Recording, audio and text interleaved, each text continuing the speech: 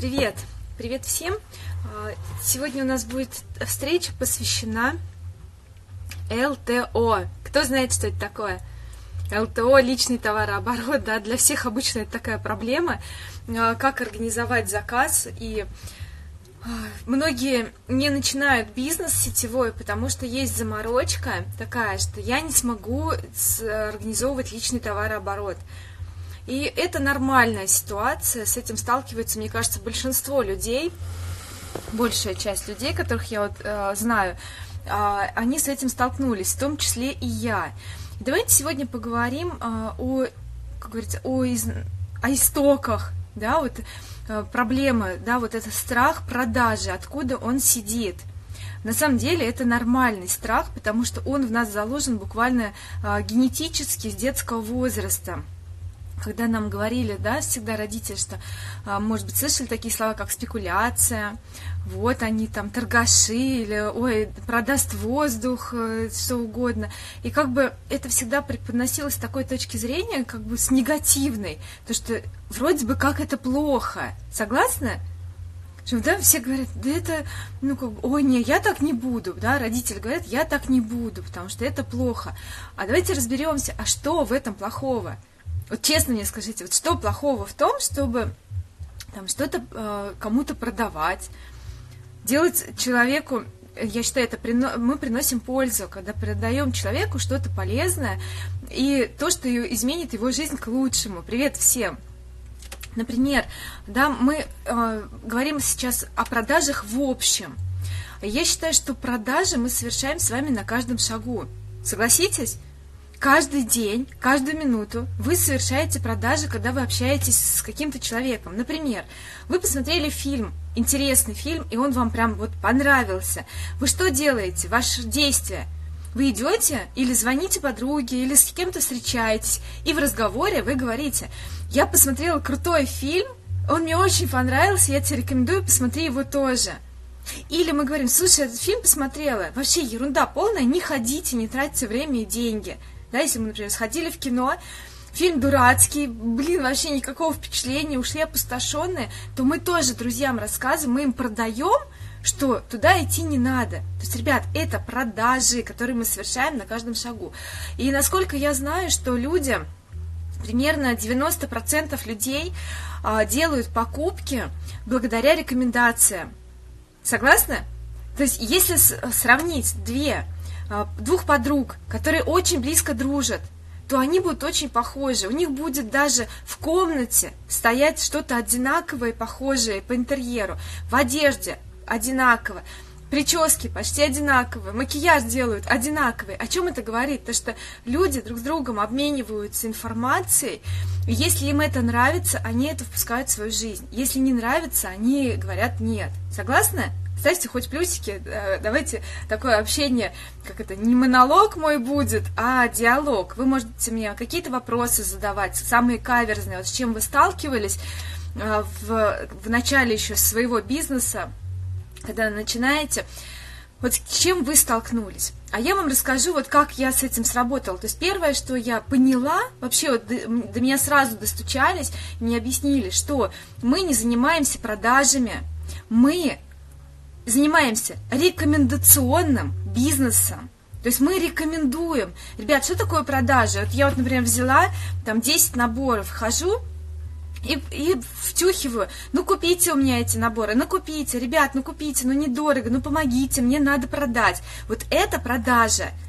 Если же мы рассказываем, например, я говорю, о, девчонки, я беру свой набор, у девчонки купила набор, делаю сама себе маникюр. Он такой крутой, смотрите, какая упаковочка, да, уже ему столько времени, он не обтирается. Все инструменты, это маникюрный набор мой, все инструменты в нем заточенные, классно, уже столько пользуюсь, даже вообще нет нареканий, все классно, я прям рекомендую, вот возьмете, не пожалеете. Вот это рекомендация, рекомендационный бизнес. И если вас подруги спросят, а где купить такой? Я говорю, ну ты можешь заказать его через меня. Все, вопрос снят. Согласны? Давайте пальчики вверх, вот как делает, да, вот последний смайлик. А если вы меня понимаете, о чем я говорю, услышали, то ставьте пальчик вверх.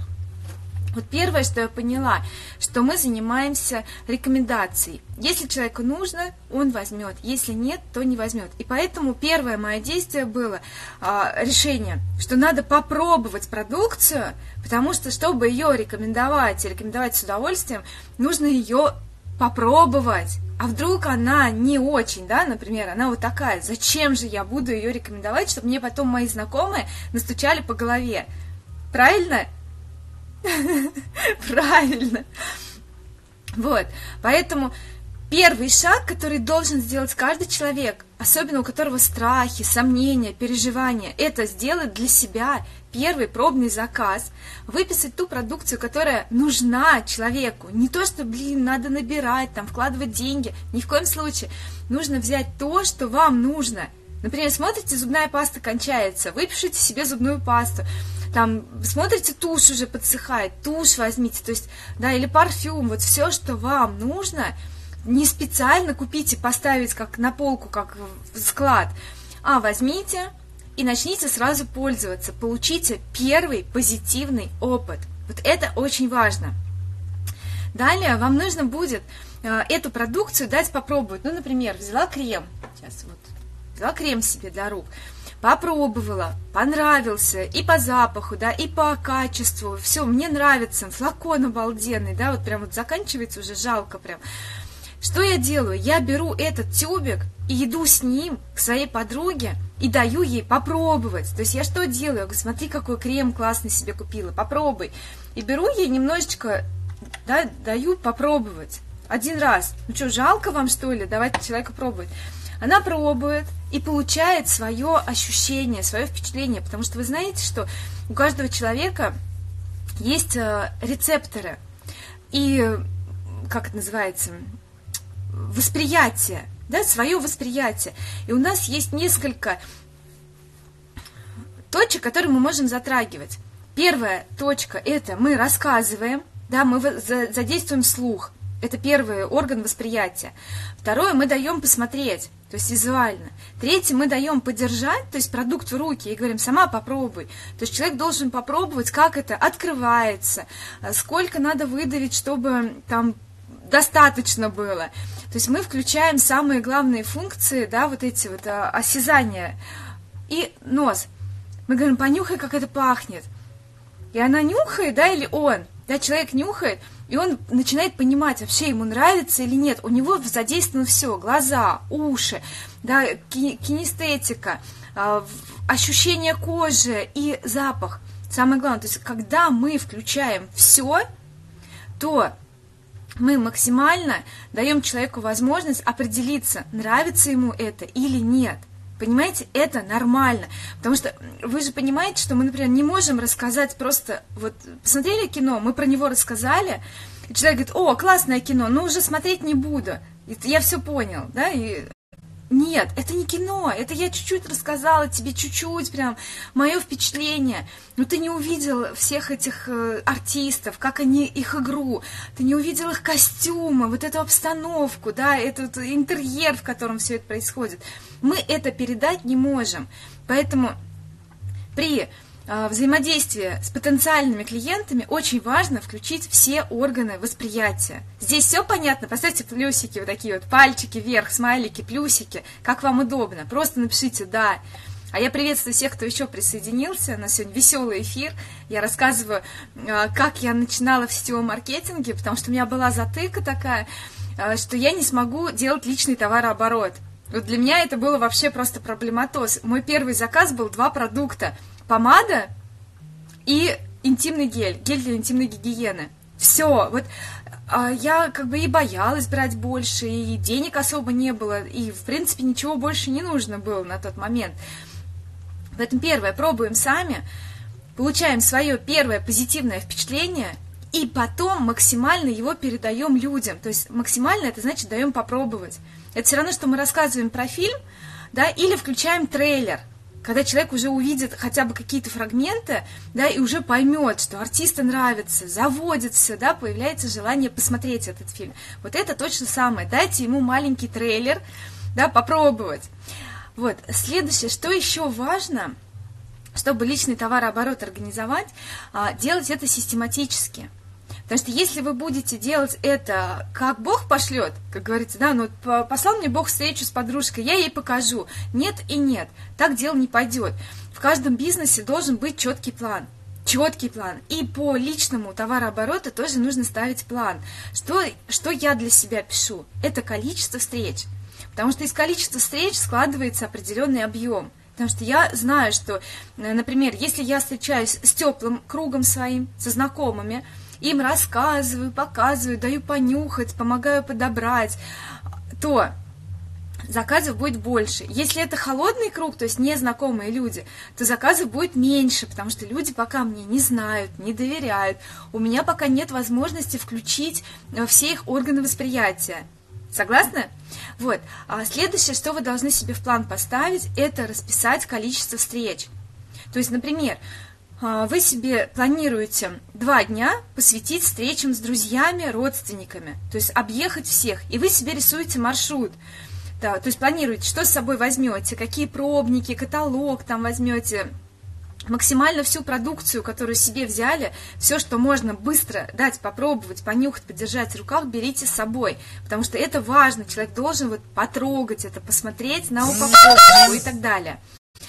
А, то есть планируете количество встреч и рисуете себе удобный маршрут, чтобы не было такого, что одна встреча у вас в одном конце города, следующая в другом, а третье опять в этом же месте. То есть вы, да, или районами работаете, где у вас вот кучка вместе живут близкие родственники, сначала с ними, потом переезжаете туда, куда уже удобнее и так далее.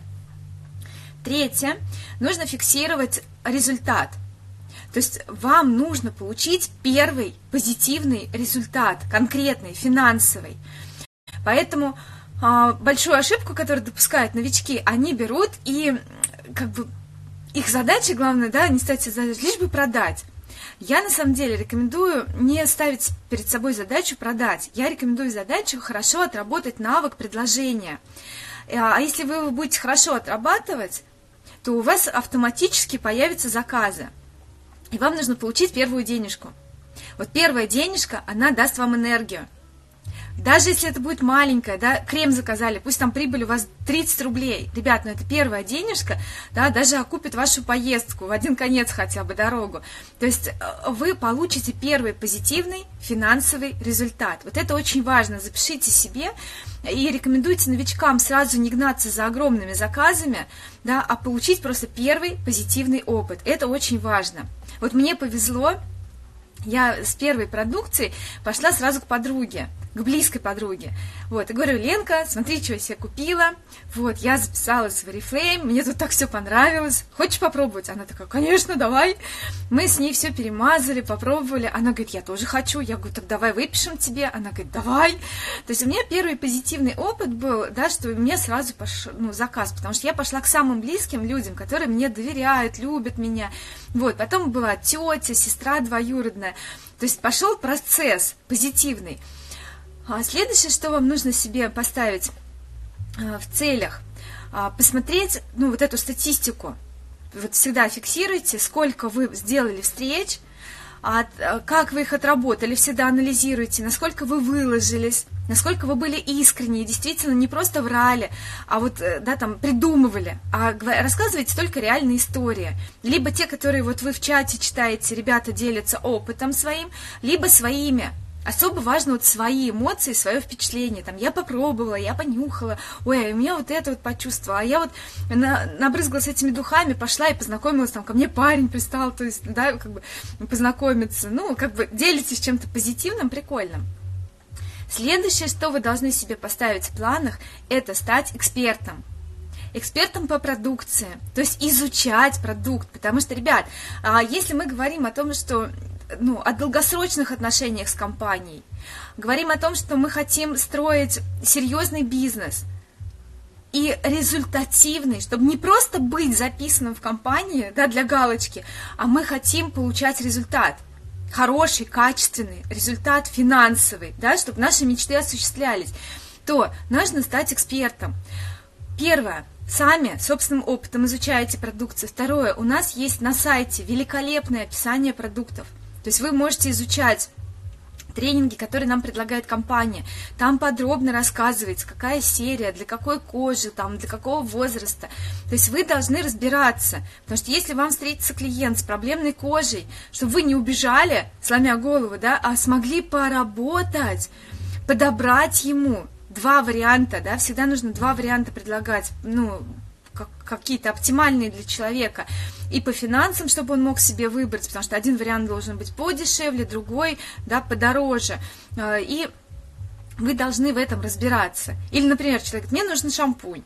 У нас их там шампуней этих 20 штук, какую предложить? То есть нужно стать экспертом и понимать, для какого типа волос, для какой проблемы лучше рекомендовать какой шампунь. Согласны со мной? Поставьте вот так пальчики.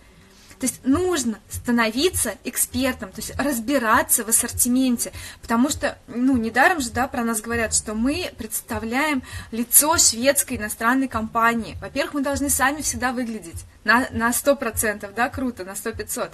Во-вторых, мы должны заниматься консультированием, не продажами. Ребят, вы можете продать человеку что-то, да, он возьмет, Например, попробует говорит, фу-то, блин, мне же это вообще не подходит. Или у него жирная кожа, а вы ему продаете крем для сухой. И он мажется, говорит, что-то не понял, еще жирнее кожа становится, сало льется, что такое? Читает на флаконе, написано для сухой, говорит, блин, вот, вот так порекомендовала, так порекомендовала, у меня кожа жирная. То есть вот эта экспертность вы должны в себе развивать а это нормально, да, вы в любой профессии, кем бы вы ни работали, вы всегда развиваете свою экспертность, согласны?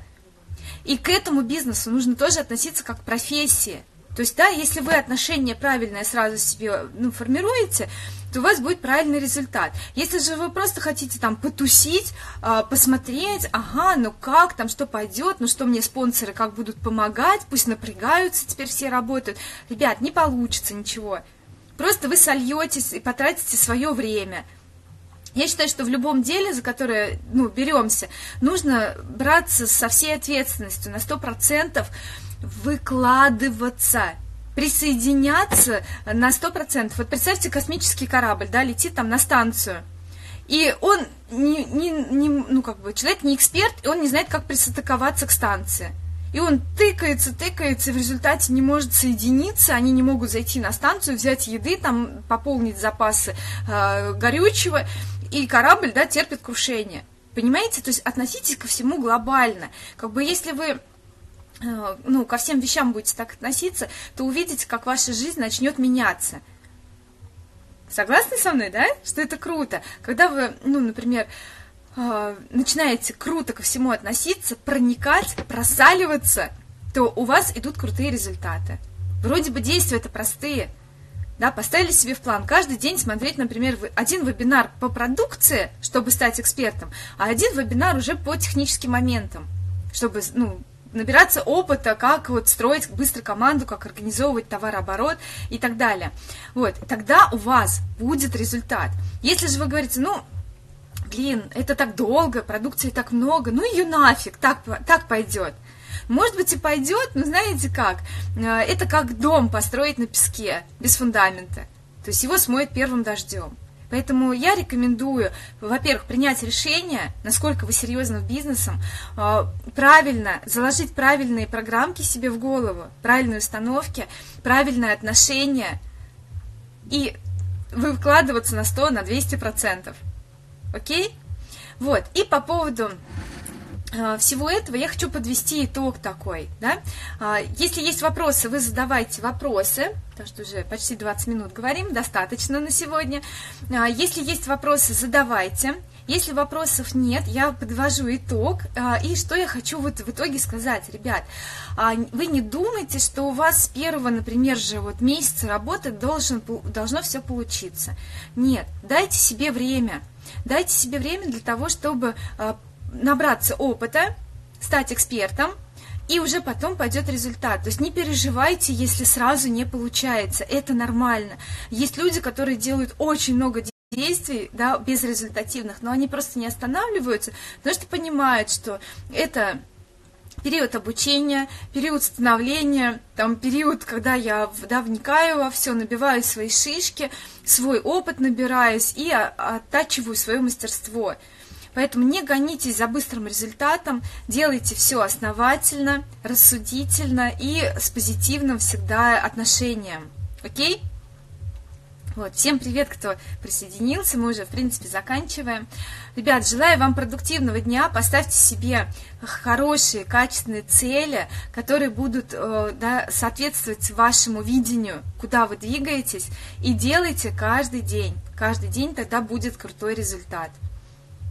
Вот. Всем спасибо за внимание, до новых встреч, пока-пока вам.